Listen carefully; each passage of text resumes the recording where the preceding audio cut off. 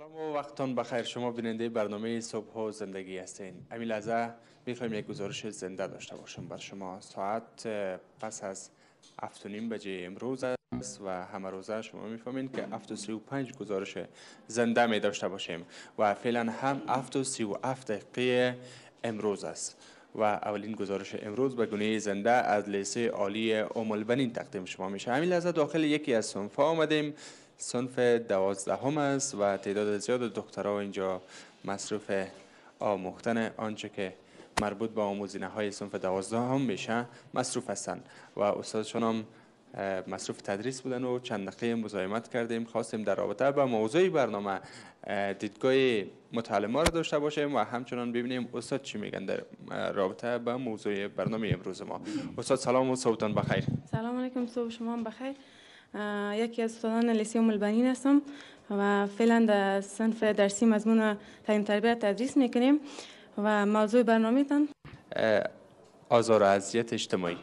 خب قسمی که ما شاهد هستیم در جامعه امروزی در جامعه امروزی ما بخصوص افغانستان امی آزار خیابانی و اجتماعی یک فرهنگ و به خاطر از که مردم ما از چی شوم مطالعه شوند که یک نوع چی است پدیده شوم در جامعه است کوشش که از طریق اینمی رسانه ها بر از اینا آگاهی دهی شود و یک اگر به نظر ما یک جرم پنداشته شود کوشش می‌کنن مردم از این عمل پدیده زشت چی کنن خودداری کنن بله استاد شما مضمونم خوب مچ داره با موضوع برنامه امروز ما تعلیم و تربیه اسلامی صنف دوازدهم.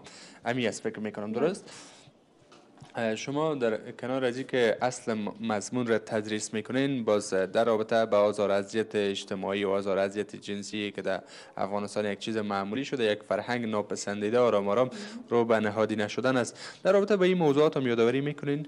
بله قسمی که ما پیامبر گرامی صلی الله علیه وسلم در باره میگن که بدترین یا زشترین مومن در روز قیامت کسایی هستند که مردم از دست زبان آنها چی باشن؟ در امن نباشند پس ما قسمی که می‌بینیم خب تاثیرات منفی را اینمی پدیده در جامعه ما بخصوص که جامعه اسلامی است و به جهانیان و به مردم دیگه یک از مسلمان بودن ما یا زمین اعمال که انجام میشه آزار اذیت یک چی نمایش بسیار بد به جا می‌گذاره و نمایندگی خوب نمی‌کنه از مسلمان بودن ما.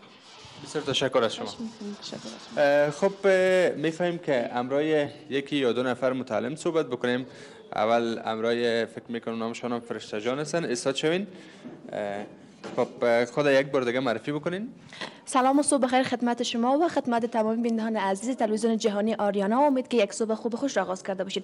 فرش احمد هستم یکی از متعلمین صنف 11 معلم 11 الف لیسی عالی ام البنین تشکر فرشته جان. موضوع برنامه ما آزار اذیت اجتماعی است و از خودت مشخص سوال ما است که شما وقتی از خانه می‌برین میایین تا مکتب از طرف کیا مورد آزار اذیت قرار می‌گیرین؟ طبق معمول زنان نیم قشر از جامعه را تشکیل میدن و متاسفانه از جمله قشر آسیب پذیر جامعه هم گفته میشن. پس این مورد گفته می‌تونیم که نه تنها ما تمام خواهران عزیز که از خانه تا ایجا نه تنهایی که خود دل خودشان هم دل را داره فامیلشان هم به هزار رقم مشکل روان می‌کند تا که پس خانه بیه وقتی که تا جمعیم با مشکلات مختلف مثلا آزار اذیت آزار اذیت پسرا. اصلا گرچه در قصه حرفایشان نیست ما با تعلیم و درس خود ادامه میدیم یعنی اونا آزار اذیت می‌کنن. نه تنها آزار اذیت مثلا زبونی از فحشا میتن یا حرفای زشت و بد می‌زنن. بسشان حتی تمسخر می‌کنن. یعنی دخترها رو چی به مکتب به درس و تحصیل و بعضی گپا. ولی ما اصلا به گپا گوش نمی‌کنیم. ما به تحصیل خود ادامه میدیم. چون ما کسیم تمام نیمه از جامعه ما تشکیل میدیم. پیکر از جامعه هستیم و به تحصیل خود ادامه بدیم تا باشد که یک جامعه خوب و بهتر بسازیم. تشکر از شما. وقتی گفتن نیم پیکر جامعه را تشکیل میتین بله. خیلی وقت شما نباشین جامعه یک بغل میشه. آه یک بغل میشه تشکر. بفرمایید. خب با یک نفر دیگه صحبت می‌کنیم و پس از او میریم به طرف یک میون برنامه. شما.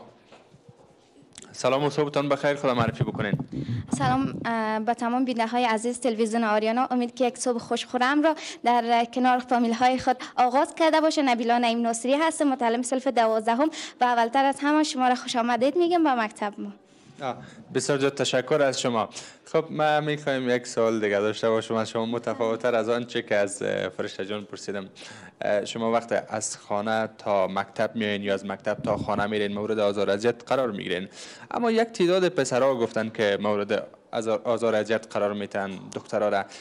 فکر نمی‌کنین که این پسرها از خود خواهر دارند؟ کارایشان هم شاید مکتب بخوانه و یا حداقل تا یک دکان پشت یک قوطی گوگرد خو میره نه شاید بچه های دیگه باشه که اونا را اذیت آزار بکنن.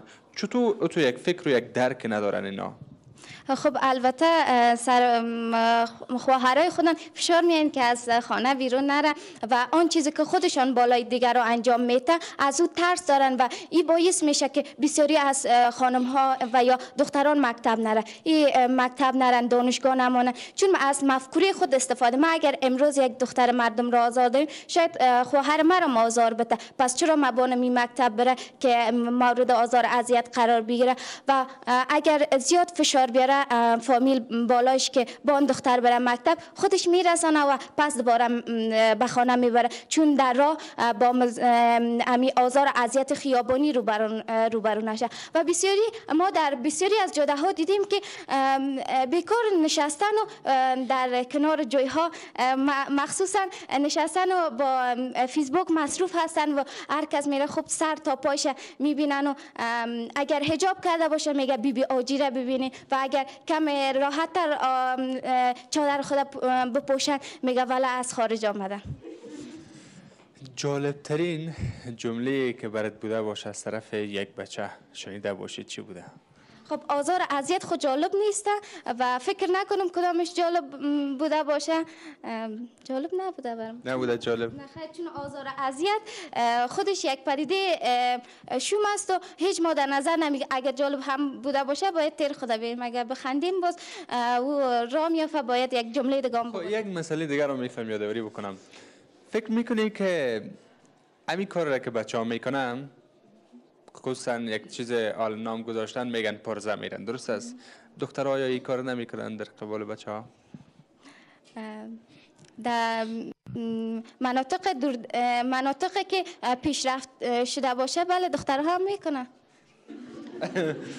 در مناطق پیشرفته تر مثلا در خود کابل وقتی که در لیسی مریم بری حتی دخترها بالای بچه ها پرزه میرن بسیار تشکر نبیلا جان. تشکر از شما و برنامه شما.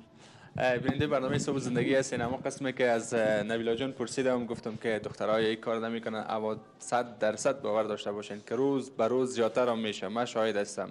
حتی من خودم بعض اوقات تیر میشم. باز یگان چیز میگن که سلام صبح بخیر. ما که اکتا نه خو آنچه که باید در برنامه صبح زندگی یادآوری بکنیم. باز هم قسم میگان گپک ها می‌زنن. خب خیر بیاین که بریم به طرف یک میان برنامه کوتاه. پس از او فراموش نکنین برنامه ما تا ساعت ده ادامه داره فعلا میان برنامه کوتاه.